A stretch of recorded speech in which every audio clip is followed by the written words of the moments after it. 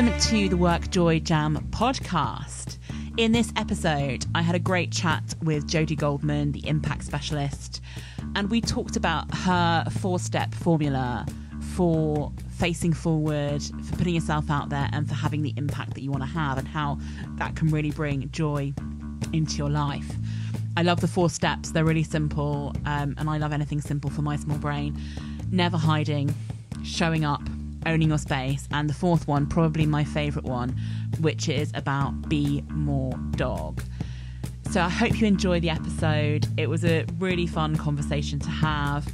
And there's some really, really great advice within there around how to build your confidence, how to consider what you need and how important it is to know that and to have great boundaries around that and to think about how humans as how we connect with each other and how we can understand that better and use it to help us in our lives and in our working lives. I hope you enjoy this episode. Hello and welcome to the WorkJoy Jam. In this episode, we're going to be talking to the fabulous Jodie Goldman. Um, Jodie is amazing. She's a great friend and colleague, and I'm now going to hand over to her and let her introduce herself. Jodie, introduce yourself and tell us a bit about who you are and your backstory. Where have you come from? Hi, thanks so much for having me on your amazing podcast. So, I am Jodie. I'm a personal impact specialist. My background is communication science, marketing. I come from South Africa originally, moved to the UK, had to start from scratch because none of my qualifications counted, none of my work experience counted. Uh, so, I had to start from scratch. I landed up training and delivering leadership programs for an award winning training company and using my communication science and psychometric profiling. And I did that for several years. I met an image consultant at some point during that time and started to incorporate a lot of the image work and the way that we show up to our lives within the leadership training. But ultimately, I landed up becoming completely obsessed with why some people were able to show up and make an impact on other people people and we're able to magnetize people and opportunities to them, even if they were an introvert, even if they had fear or imposter syndrome, even if they weren't always sure about what they were doing, they were still able to really draw people in to make an impact, to show up as the best version of themselves.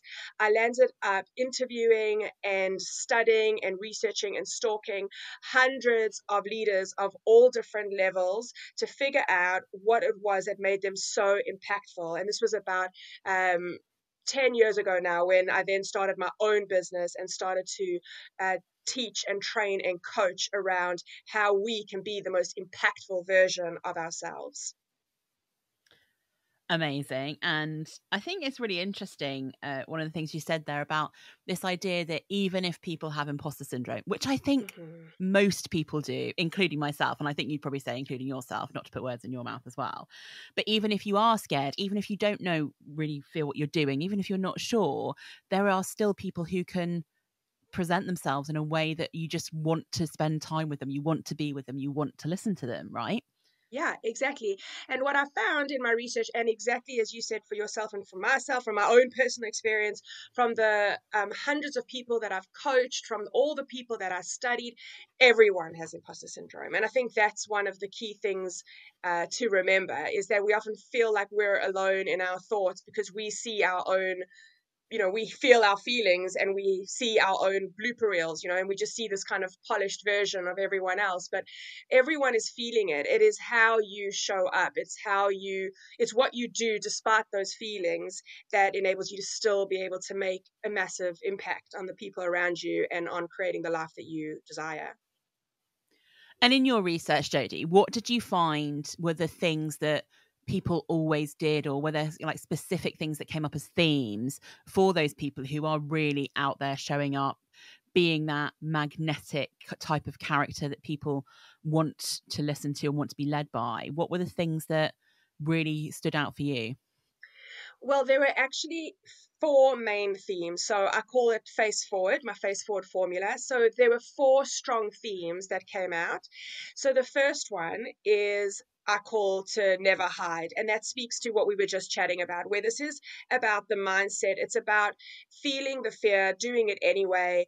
Um, it's about putting yourself in situations that are outside of your comfort zone. It's all of the inner work that these people do to enable them to just show up despite what's going on inside and not hiding, not hiding from who they are, not hiding from their desires, not hiding from opportunities, not hiding from situations, not hiding within their comfort zones so I call all of that type of stuff, I just kind of grouped it under the heading like never hide, um, was one of the main things that you can do in order to make an impact.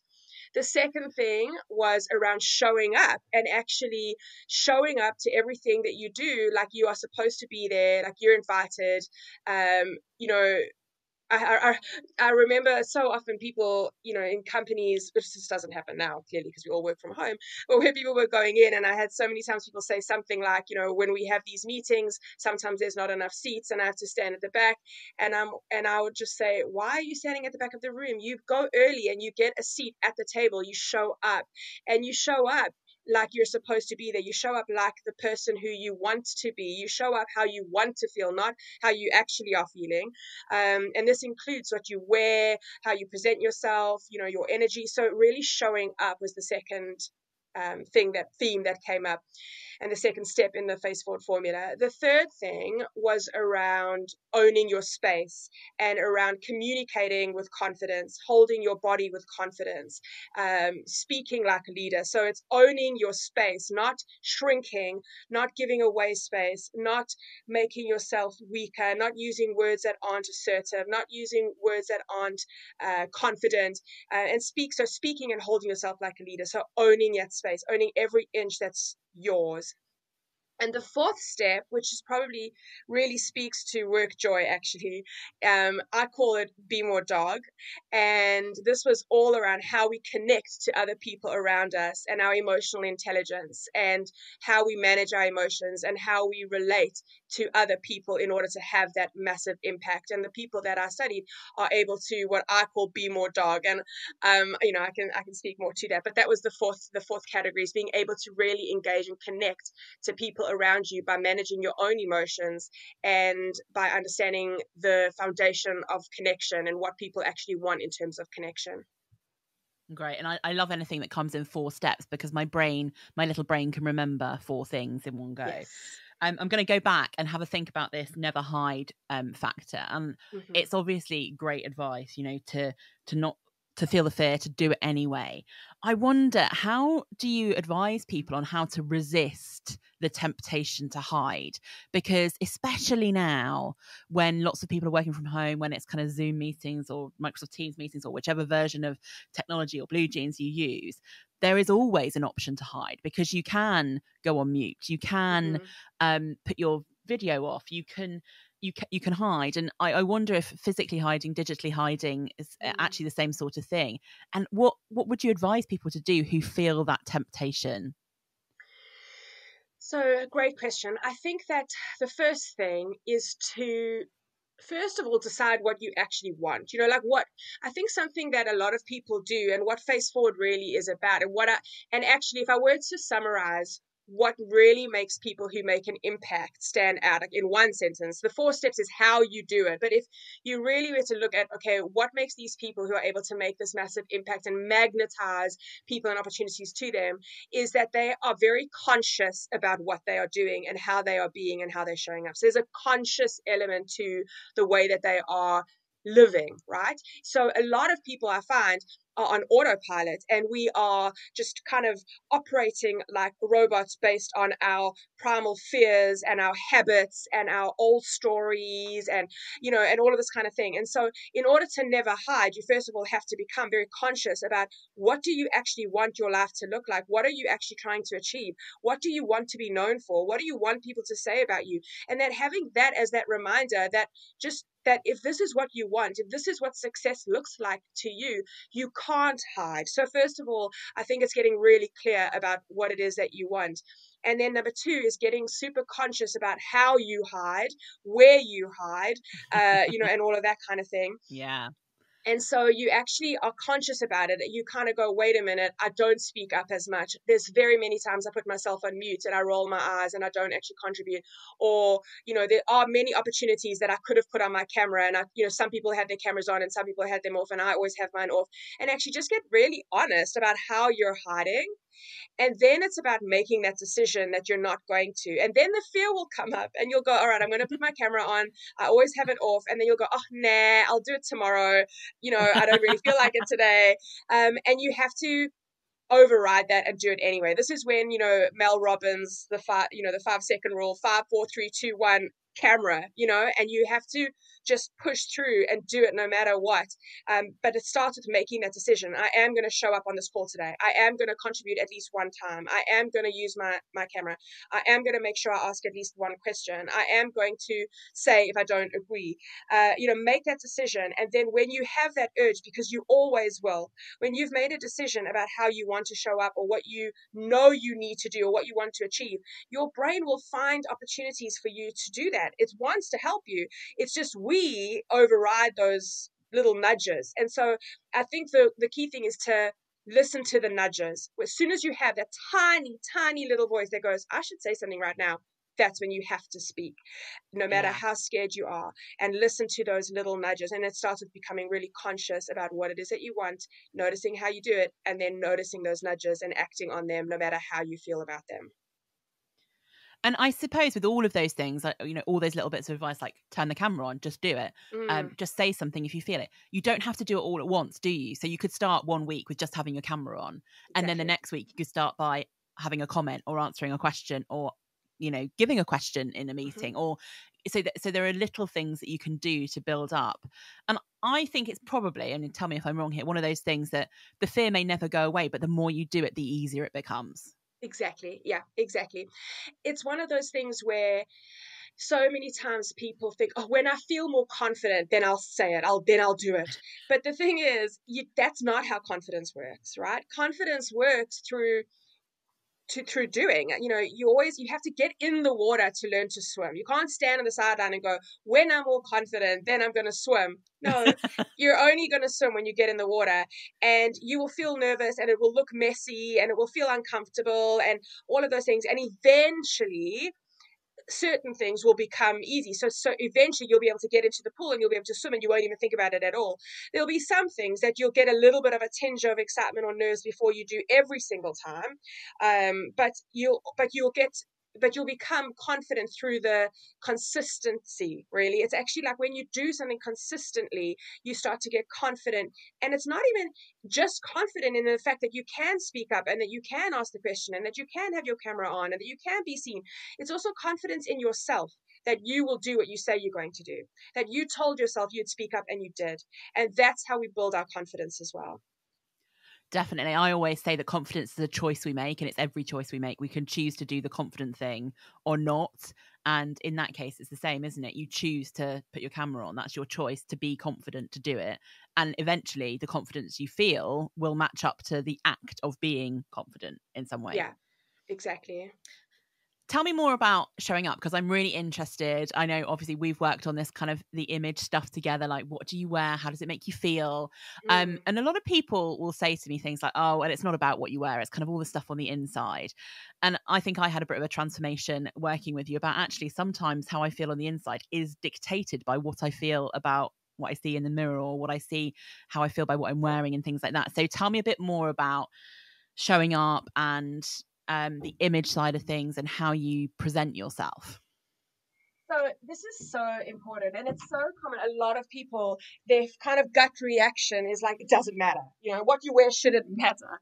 Um, we have this kind of, and I think that the truth is because we don't want it to matter. That's actually more accurate. Like I don't want it to matter what I wear, but it does and it matters for for two reasons one is the the if we look at impact and making an impact on the people around us and being seen and from a personal branding point of view and from a um, standing out point of view, it's a very useful tool. Whether we like it or not, it's the way that our brain works. We look at people, we look at anything, and we very, very quickly have to filter the world around us. There's so much information, and meeting someone is exactly the same. In fact, even more because we are primal, like pack animals inside of us there's still this little caveman you know looking out for our survival all the time. And so when we meet someone within seconds your primal instinct takes over and it's always going to be do i trust this person? That's the most important thing is is this person do i trust this person? And so we're very quickly looking for the information around us to work out how much we trust someone how much we like someone because our survival depends on it. So when people say it shouldn't matter it doesn't matter it does because if you can figure out how to get rid of the primal instinct inside of our brain, awesome, but it's never going to happen. So we, um, it's it's it's going to it's always going to matter.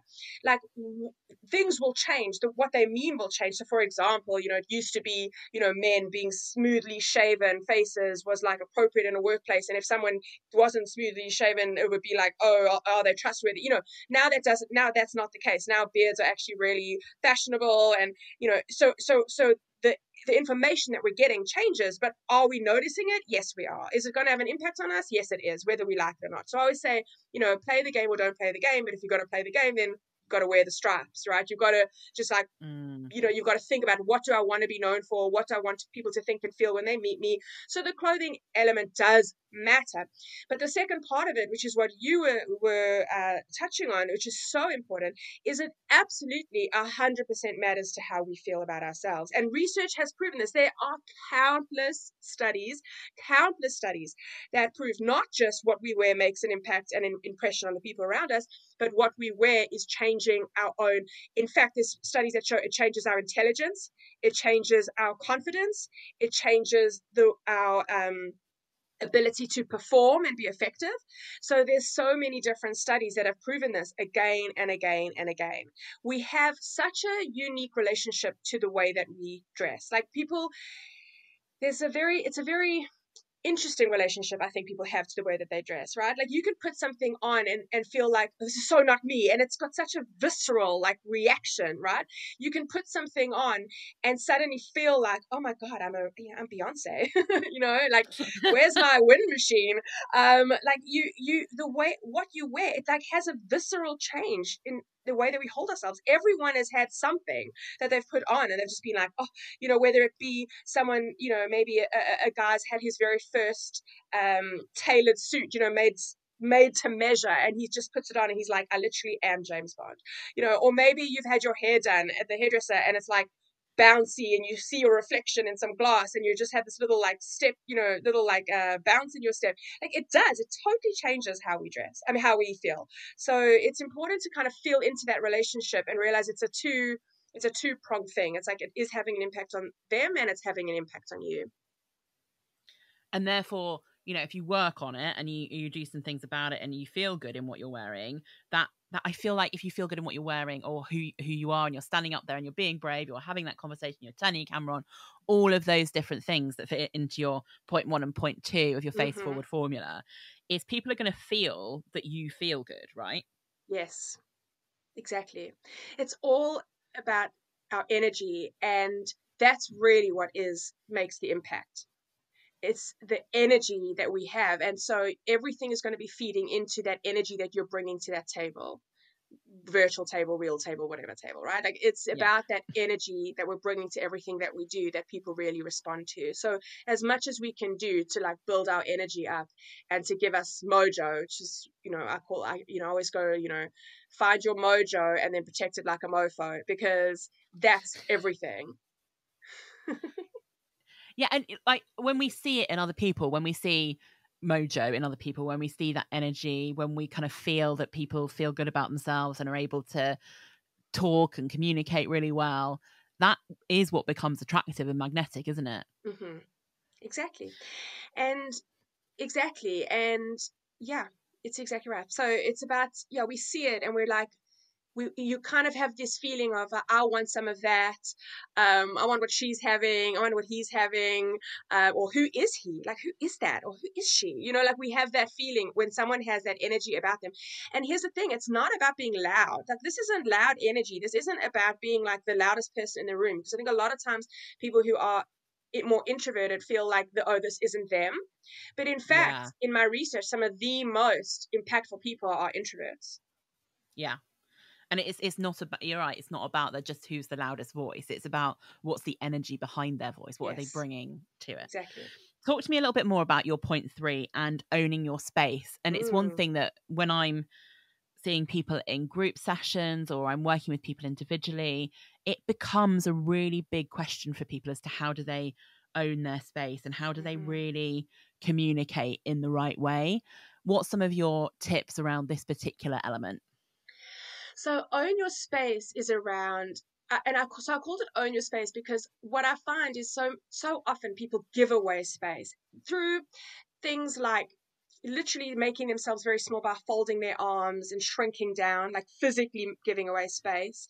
giving away space by not protecting their boundaries and saying saying yes to things they don't want to do, right? You know, so owning your space is around realizing that you are just as worthy and just as deserving and just as enough as anyone else in the world to do and be and have whatever it is that you desire and own every little inch of space that's been given to you in this world to take up. And so physically from a physical point of view it's obviously you know sitting up straight opening your arms um you know not folding your arms not shrinking not not bringing your elbows in so that you make yourself as small as physically possible not crossing your legs when you stand to present because all of these things are actually flat body language and so they're going to communicate to the people around you that you are not in your comfort zone that you're not feeling um, as confident. And why that's dangerous is as I said at the beginning, the most important thing for us as humans is that we feel trust that we trust the people that we are with right? We and what that actually means on a primal level is i trust that i'm i'm safe when i'm with you and so if you just think about that again it comes to that consciousness what are you consciously trying to communicate with own your space i'm trying to communicate that I that you are safe with me, that I have everything under control, that I believe in myself, that I'm able to take care of myself. Because if I can't take care of myself, then I'm a liability to my tribe and my community, right? As a primal caveman. Like if I am the person who's going to be falling down that you're going to have to pick up, then I'm making it unsafe for everyone. So we want to communicate that you are sa- a safe pair of hands, and that is owning your space. So holding yourself like you know what's going on, like you're feeling fine, like everything's under control. And this isn't about lying. This is about acting as if so that you can start to feel it because exactly the same as showing up where what you wear changes how people see you, but it also changes how you feel. Owning your space is exactly the same.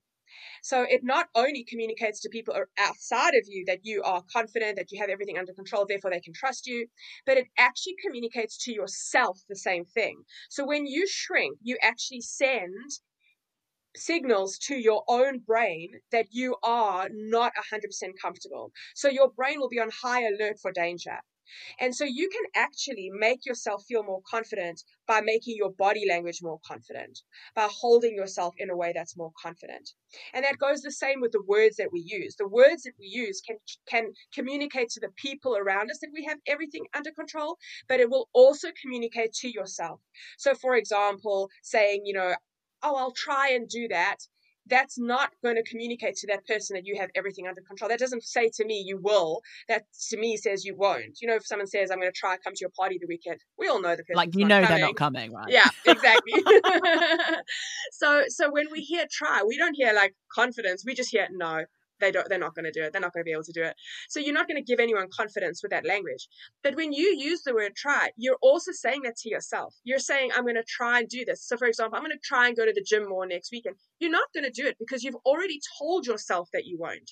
And so we have to be careful about how we hold ourselves the body language we use the words that we use because it's communicating to others and it's communicating to ourselves yeah, so interesting, isn't it? We often think about how do I communicate with others, but not the impact of what we say or mm-hmm. how we hold ourselves on ourselves. Yeah. And I wonder if we need to maybe think about how do we consider ourselves as one of the audiences that we're or one of the people that we're actually communicating with and what are the mm-hmm. messages we're saying. I mean, I always think that try is like the ultimate get out clause, isn't it? As yes. if I say I try, if I don't succeed, it doesn't matter because I only said I try. Exactly. Yeah, you never said you would. Committing to doing it. I never actually said I would. It was fine. Yeah, um, exactly. And we do it to ourselves all the time. So it's like if you say the minute someone says they're going to try to do something, it's just just it's they don't. It's not going to happen. you know? So that's why we have Yeah. to be careful how we speak to ourselves.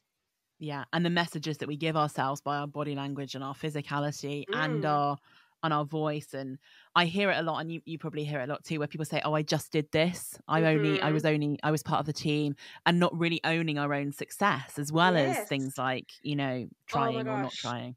Yeah, absolutely. So in own your space, own your successes, own your desires, own your needs, own your wants. You know, I talk a lot about in own your space, like the understanding actually what it means to be assertive and what it means to it's really about being assertive, you know, and and what that actually means is being is being clear and honest and confident in your needs, desires, and wants, and understanding that other people will have their own needs, desires, and wants. And then it's how you negotiate that, how you communicate about that, how you resolve that, how you communicate in like intellect uh, um, intelligently and with good emotional intelligence. And but you have to you have to own your stuff first. You know, it's like lead yourself, and then you can lead Yeah. others. And it's not like a magic wand that suddenly's just gonna come and do it for you. It is think you have to do it yourself. Yeah yeah exactly. Okay, number four, be more dog. Obviously, I love this. I'm a massive dog fan, as you know, Yeah. and I know you are too. Yeah. And I have just come back from a dog walk, so I'm feeling feeling quite dog at the moment. And I also Amazing. think dogs are the best things that were ever invented. So Yes. tell me a little bit more about the be more dog section because it makes me all excited. Okay. so this is often a favorite. So the Be More Dog. So the reason, first of all, why I called it Be More Dog is when I was doing all the research and I was looking at, okay, why are some people so impactful? And, you know, and I was doing the interviews and I was asking people, okay, and I was, I, when I did inter- interviews and research and s- have spoken to hundreds and hundreds of people now, I was asking people on both sides of the table. So I was asking people who were identified as being very impactful, like people said, oh, this person has so much impact, they're very magnetic. I would always listen to them. Um, and I would say, okay, why? What are they doing? What are you responding to? And then I would speak to people who were impactful and I'd say, okay, what are you doing? What are your thought process? What are you conscious about? So this is how Face Forward came to be. And in those interviews, you know, certain things were like super clear. So, for example, the never hide, you know, it was this a lot about getting out of their comfort zone and doing brave things and and so on and so forth, and showing up and the relationship that they had with their clothes and what we were noticing about signature styles and so on, and owning their space about the confidence and you know the word confident came up in every single interview basically. Whereas with with Be More Dog, there was this something else that people kept referring to but it was the same thing. I didn't want a million steps because it was they were all kind of sort of talking about the same thing, but in a, in a kind of different ways.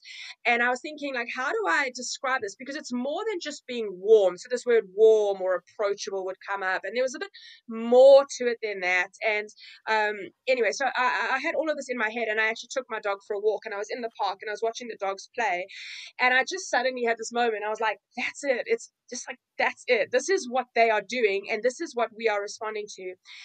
Is be more dog, and so essentially, it's like a philosophy. So, be more dog means a few things, right? So, first of all, it's like remembering that number one, as human beings, we're still pack animals. We're absolutely 100% pack animals. I like to say we're pack animals who are very self conscious. You know, dogs are like, have zero, they're not self conscious at all, right? We're pack animals, but we're so self conscious about it, about what we need and what we feel and ourselves and all of those things, right?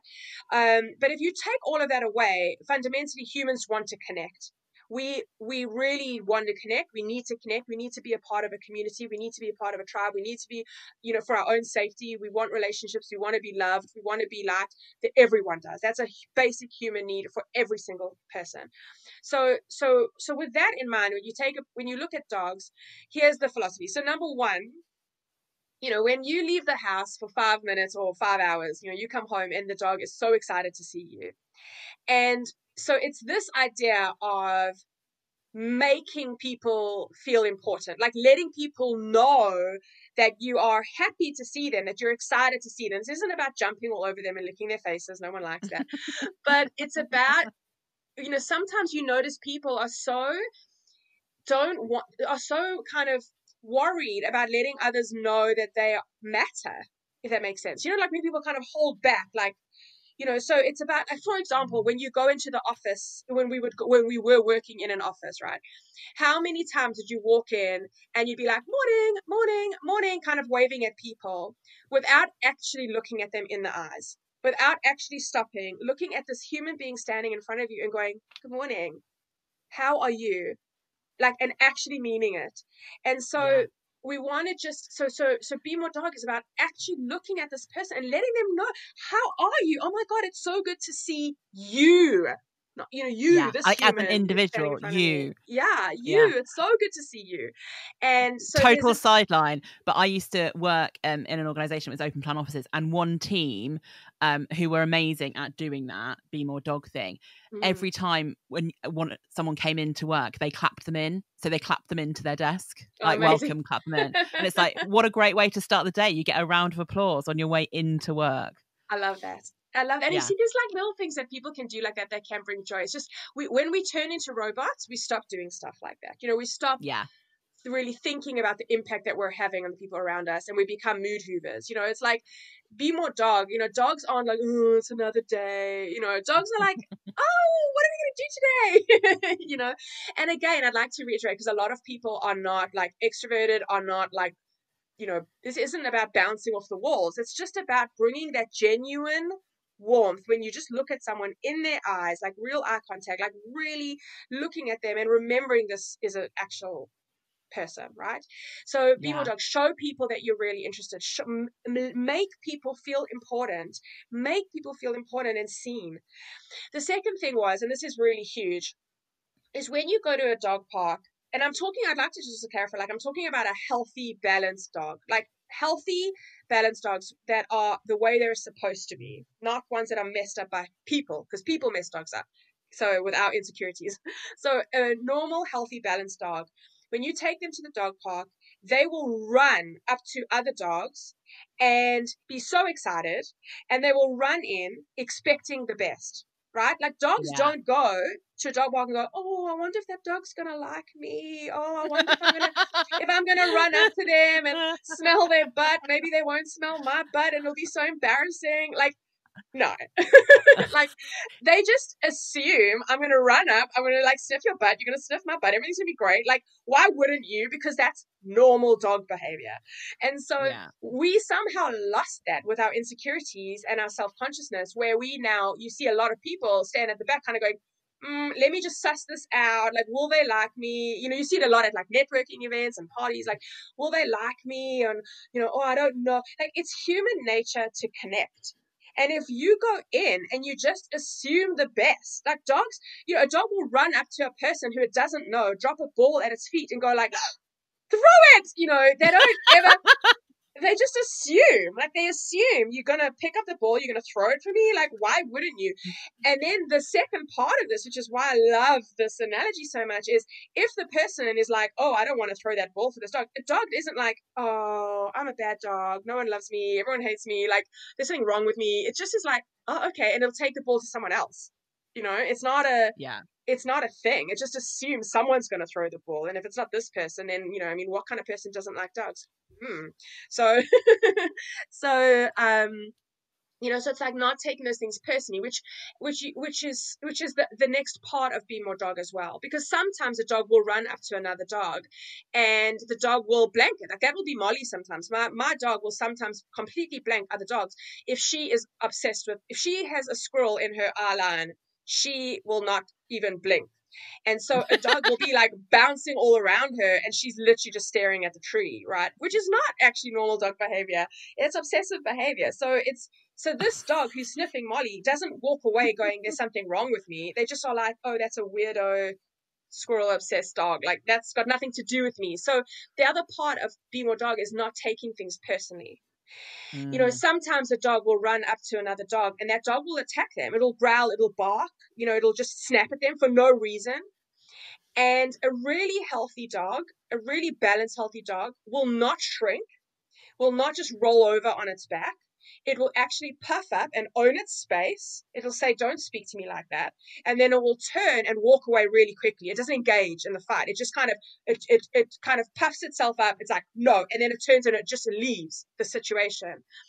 And then it runs to the next dog just as happy as it was before because it doesn't take that personally because it knows that that's not a good dog. That's not a healthy dog. That is a dog that's had something happen to it, right? It's like a rescue dog it's wasn't socialized its owners make it feel very insecure and like you know it's just it's not doesn't have a healthy environment where it feels safe like it's been abused like whatever it might be like that's why a dog acts like that. So a good normal healthy dog will just kind of take that behavior and just leave the situation and won't take it personally.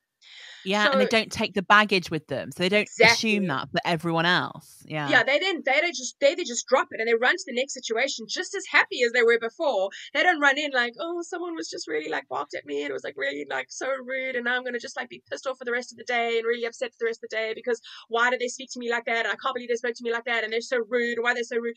Because they're not a good dog and they've got their own baggage you know? And this is what i always say. So one of the key things with be more dog is remembering and i think that this is really helpful particularly for you know for for uh, work joy right is that happy healthy confident people are not rude to other people. It's as yeah. simple as that. A happy healthy confident person is not rude aggressive or mean to other people so if someone is being rude aggressive mean they are not happy they're not healthy or they are not confident or all of those things. So one or all. And that's and if you see it in yourself too, that's when we aren't our best version of ourselves. If you're not happy, you snap, you you you you cranky, you're like grumpy, you know, if you are not healthy, you don't feel well, that's when we kind of also get a bit snappy or a bit rude or a bit like impatient and you don't feel good if you're not confident in a situation, you can lash out, you can feel insecure, you can feel a bit of, you can come across as aloof, you can come across as like rude when you don't mean to, you know, you can feel like people are trying to get one over on you, you can be defensive. So this is when we behave that way. And so be more dog is remembering that. It's make people feel important. It's connect to the people around you. It's bring the energy that you want to feel. Like bring the energy, you know, bring the energy that you want to feel. Don't rely on the external circumstances to get energy. Definitely. And then don't take things personally. And that's hard, right? Because we do take things personally, don't mm-hmm. we? Feel rejection very badly as humans, I think. Yeah. Well, exactly, because it goes back to that primal fear of like feeling, oh my God, if you're rejected, then your safety, you, it's almost like you will die, you know, not consciously, you never don't consciously think that, but at an unconscious level, the, the little caveman inside of us, if you get kicked out of the community, you're on your own and you could die you know you could be attacked by an animal you could yeah. you have to fend for yourself and so we have this very deep need to belong and that's why people are so afraid of rejection because it almost feels like your life is in danger kind of thing. So it, it, on, on, a very unconscious like deep within us level.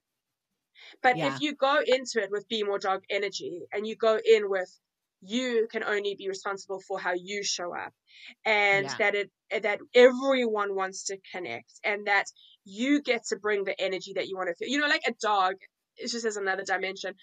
When there's a dog in the room everyone can feel it even if it's quiet and sleeping on, you know, like people are like really aware. Like a dog like walks, a quiet, calm dog can walk into a room and there's just, a, you just feel it. You're like, oh my God, there's a dog, you know, like they just have a, so it's not, it's like bring the energy.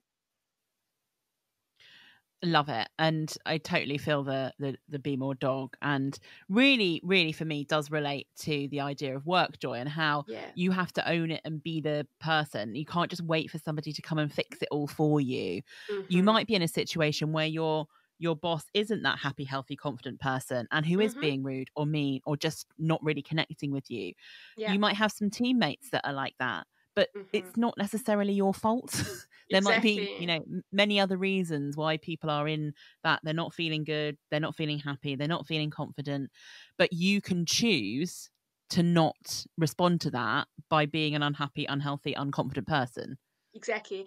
Yeah, exactly. And it's about how you respond. You can only be responsible for your for the choices that you make as you said earlier, the choices that we make. We make choices all the time. So in every situation, I can choose to say yes, I can choose to say no. I can choose to have a conversation about this, I can choose to let this go. I can choose to be annoyed, I can choose to forgive, I can choose to, you know, it's like we have to just be aware. And also I can choose to remember that this isn't about me and that as long as I am cleaning up my side of the street, other people are responsible for their side of the street. So, you know, you want to just be careful about what you're taking on and what you're bringing to the table. Yeah.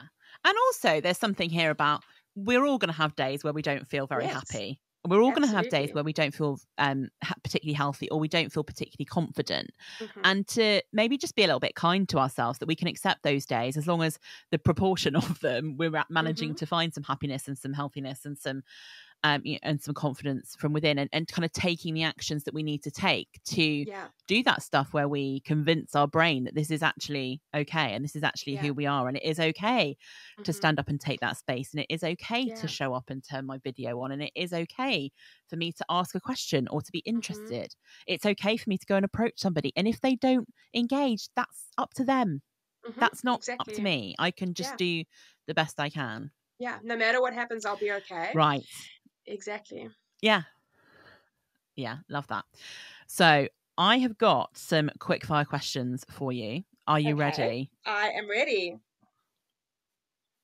First one. Um, what is always guaranteed to bring you some work joy? Working with people who get it, like get working with people who want to be the best version of themselves, who want to do the work, who do the work, who get the results, who are showing up and making an impact. Um, it is guaranteed to bring me joy when I hear from someone that they have got the job that they really wanted, that they've got the raise, that they've got the promotion, that they've got new clients, that they've, you know, that they're just doing it, that they're not hiding from their own desires, and that they are um, you know, making those choices as we spoke about to actually create the life that they really truly desire and stepping into their own power and being really impactful, uh, that brings me joy every time. Yeah, really great example there. And one thing I just picked out and I like made a big like highlight on my notepad with it is they do the work because this isn't Yes. something that is just going to be magically handed to you. No, You have to do the work. Exactly. And that work sometimes can be fun because it's sometimes like the exploration side and it's interesting and you're learning and you're growing, but also learning and growing can feel really awkward at times, right? Exactly. It can feel like mm, so messy. That's the thing. When you're in the middle of a transformation, it's very uncomfortable and messy. It's always just like, yeah, just, you know, when you like tidy your house, I don't know if you've done this, and you take everything out of the cupboards, and then you just look around, and you're like, oh, holy shit, what have I done? And it's so messy, and you're like, why did I do this? Like, why did I even think? And you're just surrounded by like mess.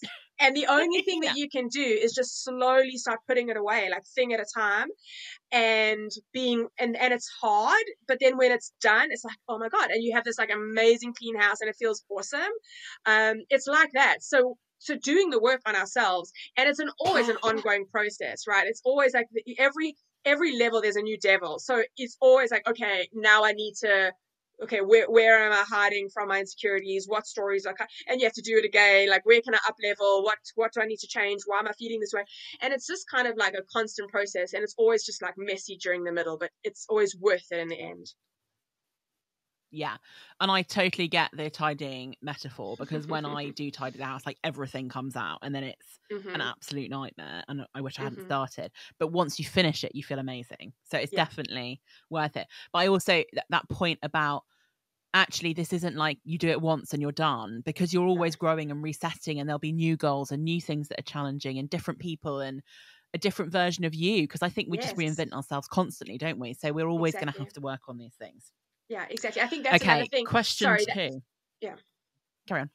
No, I was just going to say, no, that's exactly right. I think people often, wh- where that imposter syndrome comes up, or where people suddenly think, oh, it's because they suddenly have, ins- they, they kind of overcome something, and then suddenly they feel insecure about something, or they have doubt again, and then they, then it's kind of, then they've got doubt about the fact that they've got doubt, if that makes sense. So you start to compound these feelings, whereas Yeah. no, no, no, just know that it will always come up. There's, al- we always are doing the work. It's an ongoing process. Yeah. Great. Um, question two. Yes. What book are you currently reading? I am currently reading Untamed by Glennon Doyle. I love it. Have you read it? I've read it like three times. Have you? Oh my gosh, Yeah. yeah. So um yeah, it's just I, I can tell I'm gonna read it a million times. I actually have it on audio. I listen to the audio. I love audio books because I listen to Me them too. sometimes when I go on a walk. And I'm just loving it. It is just the most beautiful book. Yeah, I love it. I've I think I've read it three times and listened to it twice. Amazing. Um, and it's just, and I've sent it. I've literally bought the book and sent it to a load of friends as well because I think you need to read this. So Yeah. brilliant one. Definitely recommend it to all of our listeners. yes. Um, question three. Um, what is the best or most useful piece of advice that you've had that you always come back to?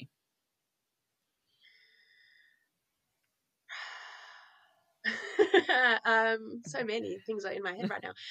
I suppose the kind of basic feel the fear and do it anyway is the one that I come back to again and again and again and again and Mm. again is feel the fear Yeah. and do it anyway. Because and yeah, and at the end of fear is always the thing that you actually really want, isn't it? You have to go through the fear to get what you want. yeah, Love it. exactly. Um, final question from me. Uh, what is one really super practical bit of advice that you could give to our listeners that is something that they could go and do today, tomorrow, the next day, that's really simple and will help them to get more work joy? face forward follow the face forward formula the four steps um, but if i were to just give us uh, the actual practical thing i would actually say show up like get dressed like just get dressed up especially right now you know when we, we're working from home so much more which i don't think will change that much ever now. I think a lot of people will be working from home a lot more than what they did before. So just still Yeah. show up get dressed put makeup on you know shave like just just really show up to that day because it will change how you feel and it will change how you act and hold yourself and and and all of the things. And so it's so practical. It's such it's such a thing that we can do to give ourselves that mojo and that boost and that kind of change of mindset and you know turning ourselves on and all of that kind of stuff so i would say just get dressed Get dressed. It's a good Yeah. bit of advice. okay. So, Jodi, huge thank you for coming on to the WorkJoy Jam podcast today. It's been great to chat to you as always. Um, where can our listeners find out more about you, about Face Forward, about what you do and your work? So my website is Jodi Goldman, J O D I Goldman.co.uk. You can also connect with me on LinkedIn. You can find me, Jodi Goldman. Uh, and I have a free Facebook group as well called She Steps Up, which anyone is welcome to come and join, where I do some live videos and share posts and inspiration and things like that. So those would be the three places I would say would be best website, LinkedIn, and She Steps Up on Facebook. Brilliant. And we will share those in the information about the podcast as well. So you can hopefully click on a nice, easy link. Jodi, huge thank you for coming along today, for sharing your amazing face forward for steps to hopefully having some more work joy and feeling good about yourself and being able to do all the things that you really want to do. It's been fantastic having you. Thank you very much. Thank you. Thanks so much. Thanks for listening to this episode with Jodi Goldman. I think the one thing that I'm really taking away is the statement around happy, healthy, or confident people are not rude, aggressive, or mean to other people. And to, for us to all remember that if someone is being rude, aggressive, or mean, they're either not happy, not healthy, or not confident, or all three, or a combination of those all and that perhaps we should learn to not take those things personally and do that be more dog bit and step away move on and not take that as baggage or a sign of rejection.